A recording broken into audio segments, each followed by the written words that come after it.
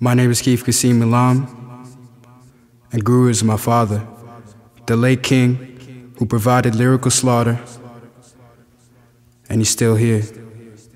shining down upon us, one of the best yet, best yet, best yet, best yet.